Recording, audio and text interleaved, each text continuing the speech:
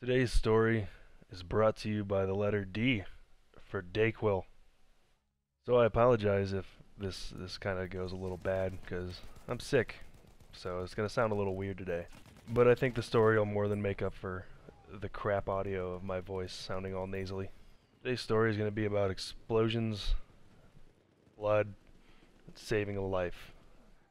I think you'll enjoy it. And as always, I'm not gonna give details. I'm gonna kind of keep it as vague as possible so I don't get sued because I like not getting sued.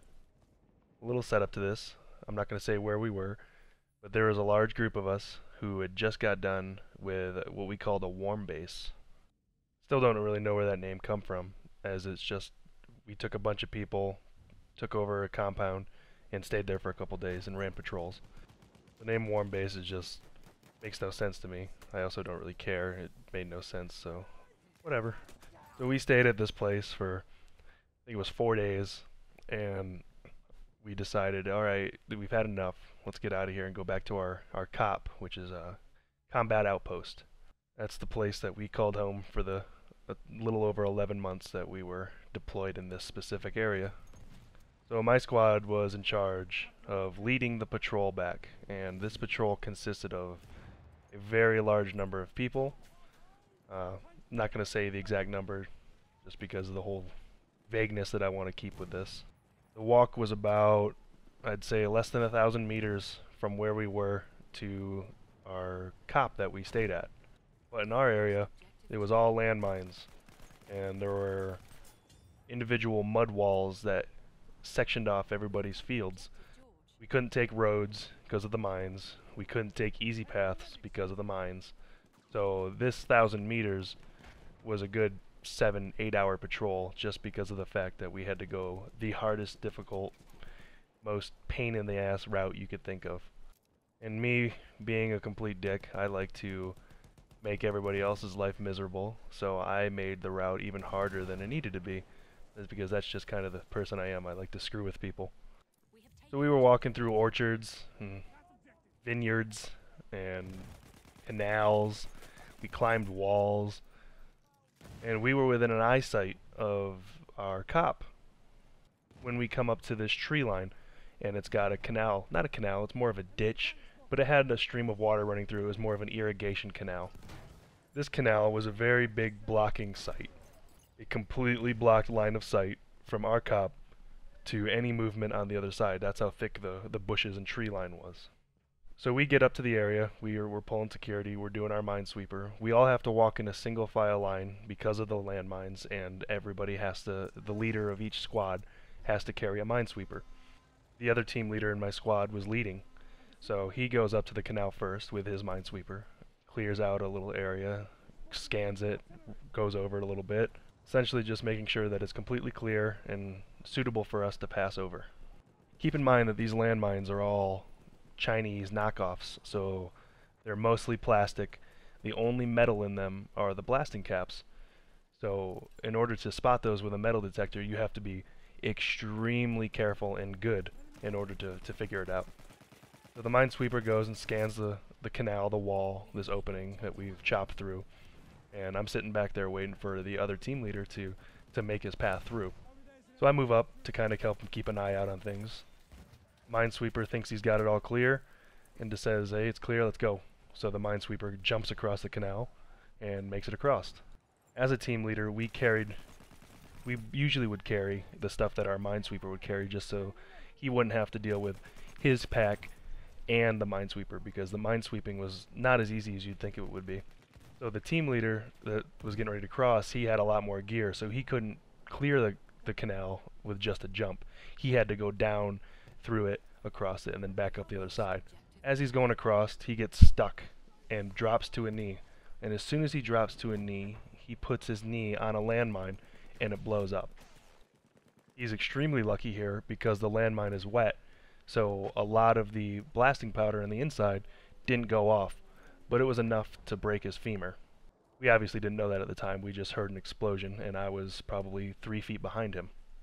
So me and the squad leader, we pull him out, and he's saying all kinds of bad words and calling us names and stuff because he's in pain. And yeah, it sucks. So He's getting pulled out, and we call our senior medic up, and he starts working on him. Surprisingly, no blood. Everything was just it was just a quick punch, and it it just fractured the bone. Nothing nothing major other than pain, obviously. So I call my team up to go take an alternate route. So it was me and uh, four, five other people. I can't remember the exact number. We move down the canal and find another area that is semi-easy to cross that we can get across and set up an area of security so that we can call in for medevac, which is a helicopter, to uh, pick them up and take them to an aid station. My minesweeper, he goes through, clears it, everything, and we all start jumping across. He makes it across, I make it across. My assistant team leader, who will come to play here in a few minutes, he made it across. My machine gunner made it across, and another assault uh, rifleman made it across. So we're setting security up. We have a big, uh, good open space of a field. We minesweep it all out. He, our, our team, my team, I set him in position to provide security. This is kind of where the story gets crazy, kind of goes rapid fire, and it's going to be kind of hard to follow along with the, the events that happen now. One of the guys who goes, comes across, he's not a part of our unit. He's doing his own thing. I'm not going to say what he was doing or who he was, but he calls me over because I'm the team leader on the side and thinks he spots somebody watching us one of my guys is at the crossing, uh, making sure everything's good and still secure over there. And as I walk over to check on to see what this guy sees, I'm looking around. Uh, I don't. I just see a guy. He's walking away. I'm not entirely sure what it was about, so I just sort of ignored it. I then start walking over to my my guy who was pulling security on the canal to make sure other people could come across when they can come across. As I almost get there, one of the other guys who was attached to us that I'm not going to say about, he was carrying the gear of another guy who lost his leg earlier in the week. Uh, so he was carrying double the gear and was trying to cross the canal at almost the exact time as I was walking up towards uh, my, my guy. So he gets ready to cross and kind of falls into the canal, and he hits a landmine. This landmine, though, was attached to a 10 pound barrel. 10, actually, I don't know the weight, 10 ish pound barrel of homemade explosive. So the landmine set off this jug as well as the landmine. So both explosions went off simultaneously. This blows off his leg below the knee. While this happens, my friend, who is watching the canal, gets launched about 15 feet in the air. I am about 10 feet away from him, so it blows me onto the ground unconscious. I have no clue how long I was unconscious for, but I immediately got up and took off running towards my friend. And one thing I do know is that my first aid abilities are, are second to none. I, I always paid attention in those classes. I would always get the top marks. I knew what I was doing. I, I love first aid just because I knew the severity of our job and I knew what could happen. And in this exact case, what did happen, where I could actually do first aid while concussed. So needless to say, I had a pretty good uh, concussion head injury, and so I ran over to my friend and immediately started providing first aid. He he had some holes. He had uh, he was bleeding pretty good, and so the second nature of the first aid training obviously took over, and working on a good friend of yours, uh, first aid to make sure he does not die is one of the most stressful things you will ever ever hope to not ever do in your entire life. The senior medic, who can do a lot more than I can, was trapped on the other side of the canal working on this other guy. So I was doing all of the work in uh, on this guy. While I was doing all this, I was still yelling orders to my squad, telling them to get into position to make sure everything was going well, to pull security, to set up a landing zone so that they a helicopter could come in and get all these casualties. And not only was I yelling to my guys, I had people on the other side who were in charge yelling at me to try to get information on what exactly was happening on my side of the canal. Without going into names or details, this was not easy.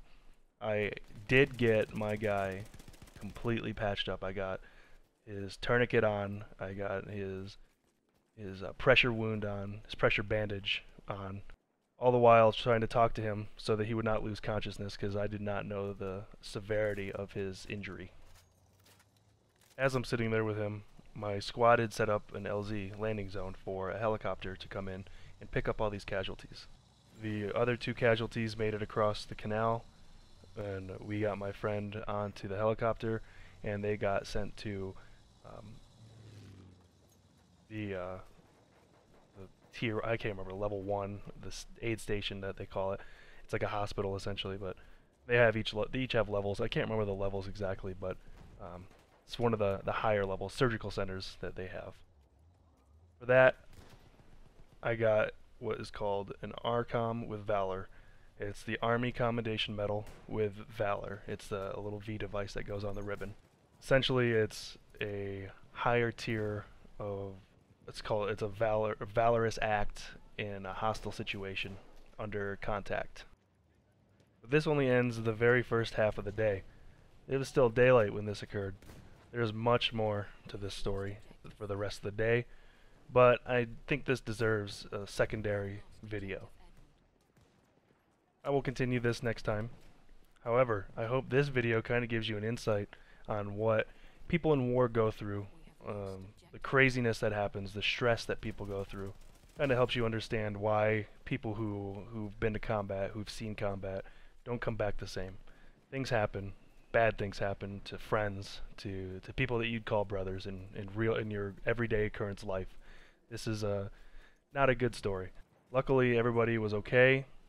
Uh, my friend got a few surgeries and he's okay, didn't lose anything. The guy who lost his leg, he is living a normal life, normal-ish life now. He has a prosthetic leg, but he is okay.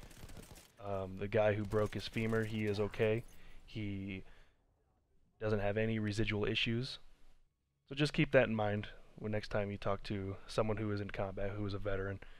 While you may not agree with them as a person, you may not agree with the war that they fought, just understand that the things these people went through is it's un, unimaginable. So until next time, hopefully there's a little less break between these videos now that I've kind of figured out how I want to structure these. Um, enjoy and share this video if you want. If you know people who are in in the war and want to hear other people's experiences, I'm sure sure this will help. Thanks for watching.